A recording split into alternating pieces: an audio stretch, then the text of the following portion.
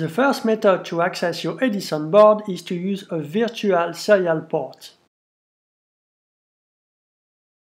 We need to install Screen to do that.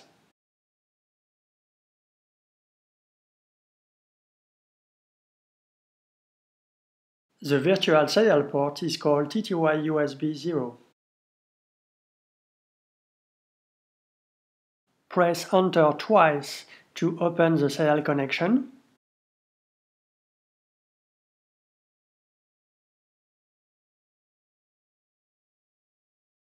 Press Ctrl D to log off. Press Ctrl A, Ctrl D to break the serial connection and go back to your workstation. Now let's focus on the more interesting second method, connecting to your Edison board through local network over USB. By default, your Edison board has a fixed IP address on a USB network adapter.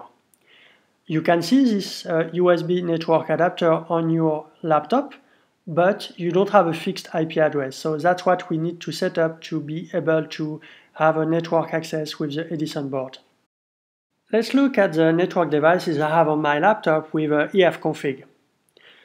Have two USB uh, network devices. USB 0 is uh, typical for my laptop, it's my docking station, uh, but I'm not interested in that. The new device is USB 1. That's the Edison virtual device. On your laptop, if you don't have a strange docking station, Edison will be USB 0. We can now define a fixed IP address for my side of the network, like 2.1.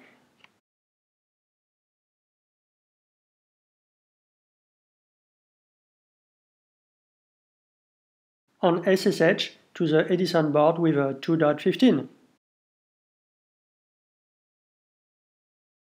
If you look at the network setup on the Edison board, you can indeed see a network adapter called 2.15.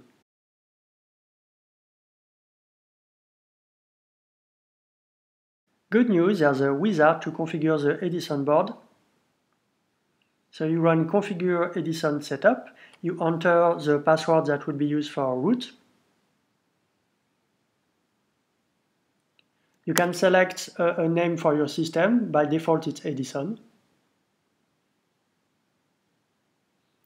And you can set up uh, Wi-Fi.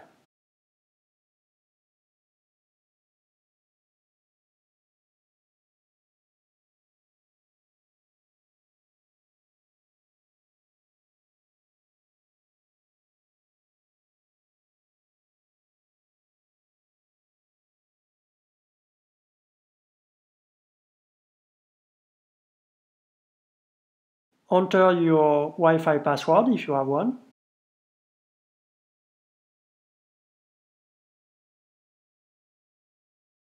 Okay, your board now has an IP address.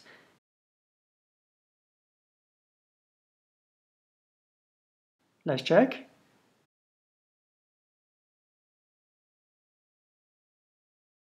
We can now log off from the network access over USB and launch uh, a SSH over Wi-Fi.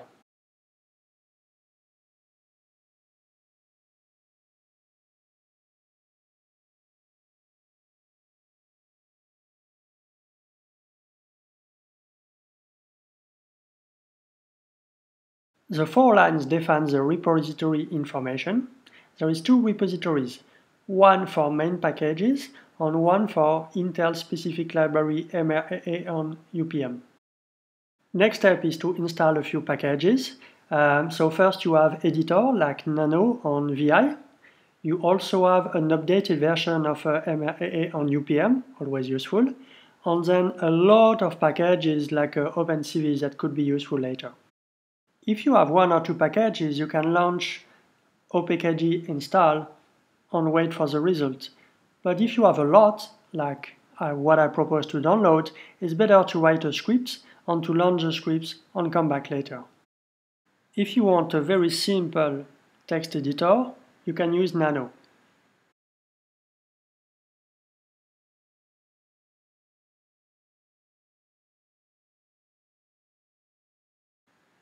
If you want something more complex, you can use VI.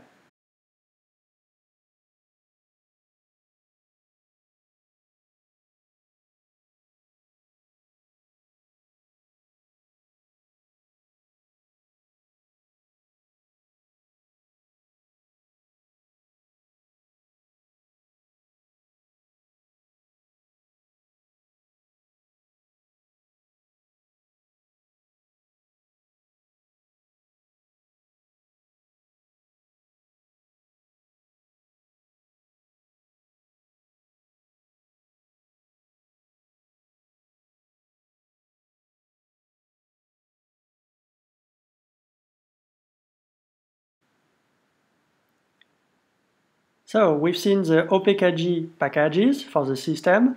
Now we can install some Node.js packages. It's done with the command npm. If you want to install the packages for the entire system, and I recommend that, you have to use the minus G option. I recommend you write a script with all the npm commands and launch the script because it may take one hour or more to install everything as npm is recompiling from sources everything that is required by the packages. So it takes a lot of time. And to avoid problems, please shut down correctly your system.